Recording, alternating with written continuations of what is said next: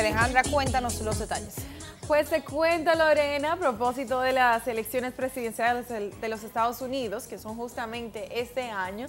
Ustedes saben como muchos artistas, de una manera u otra, muestran su apoyo hacia los diversos candidatos y este fue el caso de la ganadora de tres premios Oscar, me refiero a la actriz Meryl Streep, que recientemente en un homenaje que se le hizo a William Shakespeare en el Teatro Público de Nueva York, le hizo una parodia al candidato presidencial demócrata Donald Trump y sorprendió a todos porque nadie de los que estaba ahí, ninguno de los presentes sabía que esto iba a ocurrir. Como mencioné, eso fue una gala benéfica en honor a William Shakespeare. Ahí le estamos viendo disfrazada con una peluca rubia, una enorme barriga y la piel pintada de naranja. Imitó su voz, también la retórica y los gestos de Donald Trump. Miren cómo se para. Me imagino que fue muy jocoso. Todavía no hay videos, quizás eh, ni siquiera dio tiempo para grabarlo,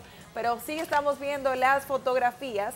Y explicó el director del teatro, aseguró que fue la actriz que declaró abiertamente en ese momento su apoyo a Hillary, Clinton.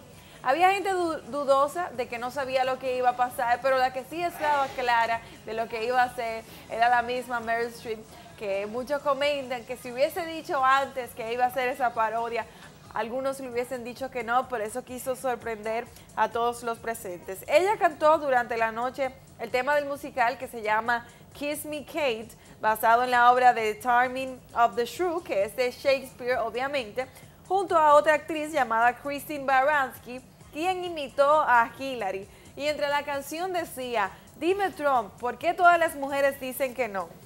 En referencia al posible bajo respaldo de las mujeres de los Estados Unidos a su nominación por sus declaraciones en contra de la planificación familiar. Así que ahí vemos a Mary Streep vestida de Donald Trump, más que nada burlándose de él y también aprovechando el momento para eh, darle el apoyo públicamente a quien es eh, Hillary Clinton, quien es la candidata hacia el otro partido en los Estados Unidos. Y en otra información, el caballero de la salsa, así como todos lo conocen, Gilberto Santa Rosa, tendrá nueva vez un concierto en el país. Sabemos que le gusta presentarse bastante y es que la verdad que tiene una gran fanaticada aquí en República Dominicana. Cada vez que se presenta es como si fuese la primera vez. Estará el 5 y el 6 de agosto en el Teatro Nacional con el espectáculo The Man and His Music, o sea que es, es un concierto totalmente nuevo a lo que ha hecho en el pasado el mismo que ofreció este pasado fin de semana en el Carnegie Hall de Nueva York, que fue un momento muy especial, como comenta el mismo Salcero, ya que regresó Gilberto Santa Rosa a una sala que marcó un antes y un después en su carrera musical, porque se presentó ahí la primera vez hace 21 años. Imagínense todas las memorias y recuerdos que tenía al subirse al escenario.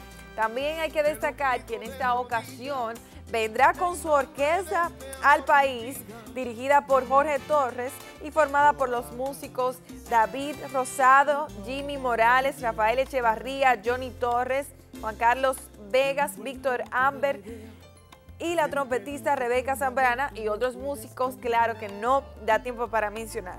Pero hay que también destacar muchas de sus canciones más conocidas y emblemáticas aquí en nuestro país, como Perdóname, una canción que nunca ha pasado de moda, Conciencia, Yo la agarro bajando, Conteo regresivo, Vivir sin ella, Te propongo, Almas gemelas, entre otras, que son solo una pizca de lo que se vivirá el 5 y el 6 de agosto en el Teatro Nacional. Si recordemos que justamente en agosto del año pasado, Gilberto Santa Rosa se presentó en el anfiteatro de Nurín Sanjay y dentro de algunos invitados que tenía, se encontró con Maridalia Hernández, que estaba dentro del público y él la invitó a subir y ella se pasó la noche entera bailando y cantando con él, lo digo porque estuve ahí presente, pero en esta ocasión él también promete muchas sorpresas e invitados especiales. Así que recuerden la fecha 5 y hoy 6 de agosto en la sala principal del Teatro Nacional.